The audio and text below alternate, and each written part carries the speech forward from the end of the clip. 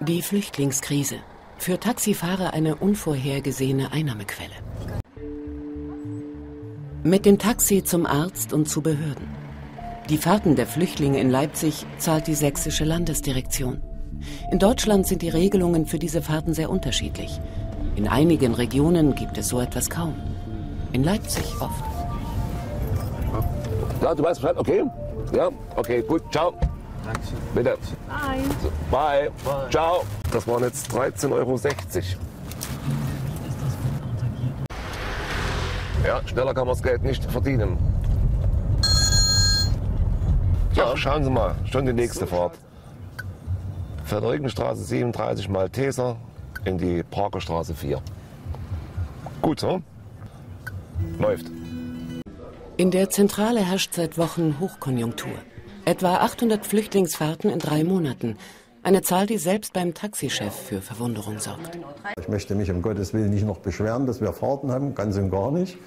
Aber es wird kritisch gesehen. Ich kann davon ausgehen, dass eine Fahrt ca. 15 Euro im Schnitt kostet. Und wenn wir dann 300 Fahrten machen, dann können Sie sich ausrechnen, welchen, welchen Beträge das ungefähr ausmachen. Also 5.000, 6.000 Euro kommen da locker zusammen. Wir begleiten eine syrische Familie auf dem Weg von Leipzig nach Chemnitz zum Amt für Migration und Flüchtlinge. Eine Strecke von über 80 Kilometer. Und das Taxameter läuft. Die Unternehmer freuen sich, dass was in die Kasse kommt. In Chemnitz angekommen heißt es warten. Es stehen noch weitere Taxis aus Leipzig und anderen Kommunen hier. Das Taxi steht und das Taxameter läuft und läuft. Schließlich rollt ein weiteres Taxi aus Leipzig an. Wir warten seit vier Stunden. Kein Ende in Sicht. Hätte nicht gedacht, dass es so lange dauert. Mit drei Stunden hätte ich gerechnet, aber so lange. Unsere Familie kommt nach fünfeinhalb Stunden Warten heraus. Das Taxameter wird endlich angehalten und am Ende stehen 308,90 Euro zu Buche. Die Rückfahrt ist dann inklusive. Drei Taxis mit einem Taxameterstand von über 300 Euro. Ein beachtlicher Umsatz eines Leipziger Taxiunternehmens. Da hat Löwen Taxi eigentlich einen guten Reibach gemacht mit diesen drei Fahrten. An diesem Zustand sind nicht Flüchtlinge schuld, sondern deutsche Behörden, die das so organisiert haben. Wir sind in Thüringen und treffen Carsten Kohl. Der Beamte steuert im Landkreis Hildburghausen die Unterbringung von Flüchtlingen. Momentan betreibt der Landkreis fünf Gemeinschaftsunterkünfte und die nächsten sind bereits in Planung. Die Unterkünfte auszustatten wird immer schwieriger für Kohl. Also mir ist äh, zum Beispiel mitgeteilt worden Ende September, dass die Betten ausverkauft sind, weil auch die, äh, die Hersteller schon gar kein Rohmaterial mehr geliefert die Pflicht haben. Doch nicht nur an Betten mangle es. Auch Handwerker könne Kohl immer schwieriger auftreiben. Und das merkt man natürlich jetzt auch. Die Handwerker haben insgesamt sehr gut zu tun und durch mit der Unterbringung von den Flüchtlingen. Äh, diese finanziellen Mittel fließen praktisch wie so eine Art in Anführungsstrichen Konjunkturpaket als Aufträge an die Handwerker, die äh, dann natürlich dann dementsprechend auch mit von profitieren, mit äh, dass entsprechende Aufträge vom Landkreis erhalten und wir vergeben ja auch die meisten Aufträge hier in der Region. Die Flüchtlingskrise als Konjunkturmotor. Eine der Branchen, die gerade richtig boomt, ist das Baugeschäft. Wir sind in einer Leipziger Holzverarbeitungsfirma. Hier werden Bausätze für Holzhäuser gefertigt. Bausätze für Flüchtlingsunterkünfte werden seit September zusätzlich produziert. Zehn sind schon ausgeliefert. Eine Spitzenzeit also für den 20-Mann-Betrieb. Wir sind, was die Produktionskapazität betrifft, schon an die Grenzen gekommen. Das heißt, wir mussten uns schon Mitarbeiter ausleihen, die freie Kapazitäten hatten. Doch nicht nur gute Arbeitskräfte sind knapp. Auch die Produktionshallen platzen aus allen Nähten. Es gibt Überlegungen zu expandieren. Also langfristig ist das schon auch noch eine Überlegung von uns, dort hinten, also das Grundstück gehört uns noch, ähm, dort zu investieren, neu zu bauen. Wenn wir mit unserer äh, Umsatzentwicklung tatsächlich, wenn die so eintritt, wie wir uns das erhoffen, wie wir das planen, dann werden wir irgendwann in den nächsten Jahren diesen Schritt gehen. Ja. Ja, das Haus, was wir jetzt hier sehen, ähm, hat in etwa Baukosten von 280.000 Euro und äh, damit ist es dann letztendlich äh, bei einem Quadratmeterpreis von um die 1.000 Euro pro Quadratmeter Wohnfläche. Zum Vergleich, die Kosten für den sozialen Wohnungsbau belaufen sich im Gebiet Würzburg auf das Doppelte. Und auch Alternativen im Wohnungsbau für Flüchtlinge sind teurer. Momentan ist es generell so, dass wir einfach aufgrund der großen Nachfrage einfach auch enorme Preissprünge drin haben. Und unsere Erfahrung ist, dass wir diese Preissprünge im Containerbau stärker haben als im Holzbau. Hildburghausen. Carsten Kohl konnte bislang seine Flüchtlinge in angemieteten Immobilien unterbringen, wie in dieser ehemaligen Reha-Klinik. Zum Glück, sagt Kohl. Denn besonders beim Ankauf oder der Anmietung von Containern würden mittlerweile Wucherpreise verlangt. Wir hatten auch mal so eine Containerlösung, wo wir nachgefragt haben, aber da waren die Kosten sehr, sehr hoch. Wie hoch? Ja, für 60 Plätze weit über eine Million Euro. Eine Million Euro für eine Containeranlage. Wir machen uns auf den Weg zu einem Hersteller von Wohn- und Sanitärcontainern und sind in Brzezówka im Südosten von Polen.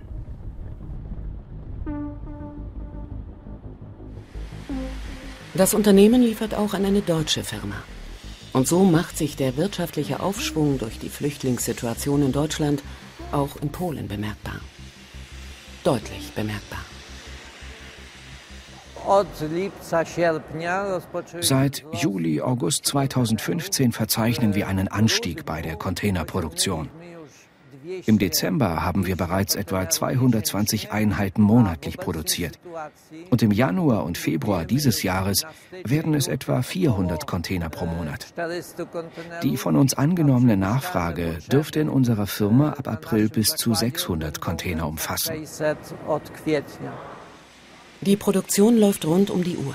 80 neue Mitarbeiter stellt das Unternehmen bereits ein. 100 weitere sollen bald folgen. Der polnische Arbeitsmarkt profitiert. In Polen erhöhte sich der Verkaufspreis von Containern im vergangenen Jahr um 20 Prozent.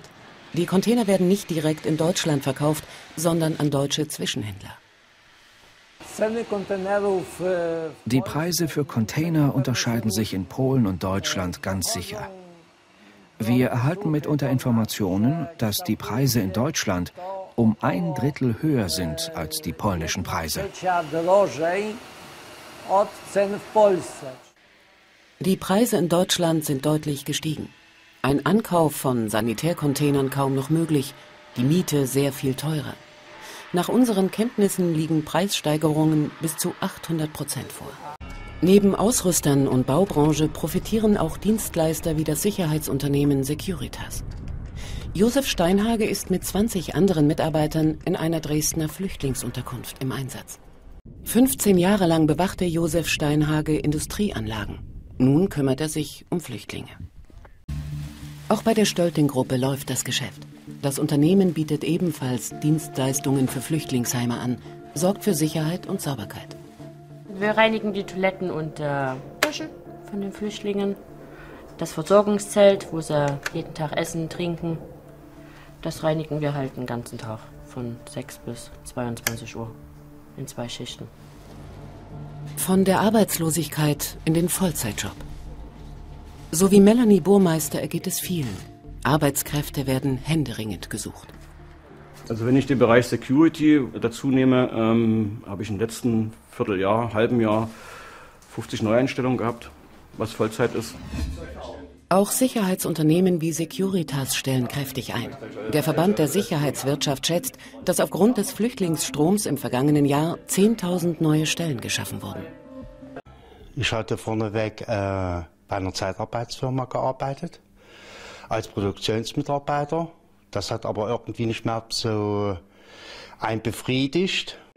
Binnen eines Jahres verzehnfachte sich die Zahl der von Securitas bewachten Flüchtlingsunterkünfte. Von 10 auf über 100. Weiteres Wachstum nicht ausgeschlossen. Also wir haben ähm, deutlich mehr Nachfrage. Ich sehe 2016 in steigender Tendenz äh, insgesamt für unsere Branche, für unseren Umsatz und unser Wachstum. Und äh, Flüchtlingseinrichtungen und deren Schutz zu gewährleisten, wird sicherlich für kurze und mittelfristige Zeit nicht nur ein Markt bleiben, sondern auch eine gesellschaftliche Aufgabe. In Hildburghausen wird eine frühere Reha-Klinik zur Flüchtlingsunterkunft. Vier Jahre steht das Gebäude schon leer. Gerade die Immobilienbesitzer profitieren enorm vom Flüchtlingsstrom. Und wie viel kostet das? Das wollte ich jetzt mal lieber, das lasse ich mal lieber außer Sache.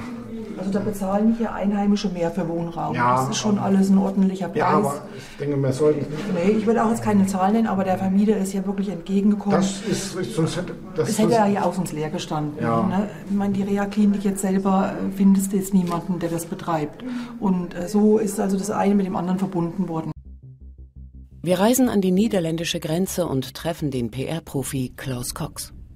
Hier in Niederkrüchten entsteht auf dem Gelände einer ehemaligen britischen Kaserne eine der größten Flüchtlingsunterkünfte in Deutschland. Klaus Cox führt uns herum. Er lenkt die Kommunikation von European Home Care, dem größten privaten Betreiber von Asylunterkünften in Deutschland. Bis zu zweieinhalbtausend Flüchtlinge sollen hier untergebracht werden. Deren Versorgung vom Essen bis zum Wohnen ist Aufgabe von European Home Care. Mit durchschnittlich 10 Euro pro Tag und Flüchtling kalkuliert das Unternehmen. Binnen eines Jahres verdoppelte European Home Care die Zahl seiner Einrichtungen auf über 100. Ein profitables Geschäft. Bei European Home Care denkt man bereits an die Geschäfte von morgen. So fungiert Firmeninhaber Sascha Korte bei weiteren Unternehmen als Geschäftsführer. Unter anderem bei Immobilienunternehmen, einem Pflegedienstleister und bei Firmen, die mit Möbeln, Kleidung und Lebensmitteln handeln. Auch andernorts denkt man an die Zukunft.